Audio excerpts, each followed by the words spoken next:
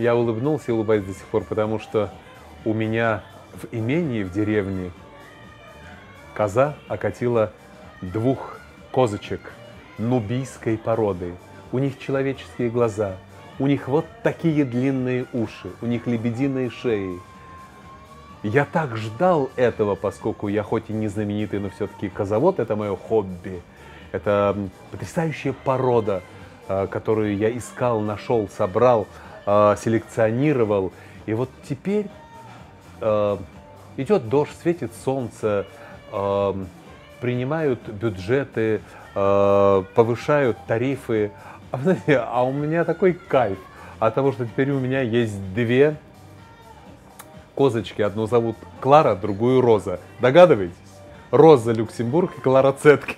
Они родились какой-то день, который рядом с ним был. И мне вообще-то, я понимаю, на этот день больше ничего и не важно, потому что я зафиксировал вот эту радость.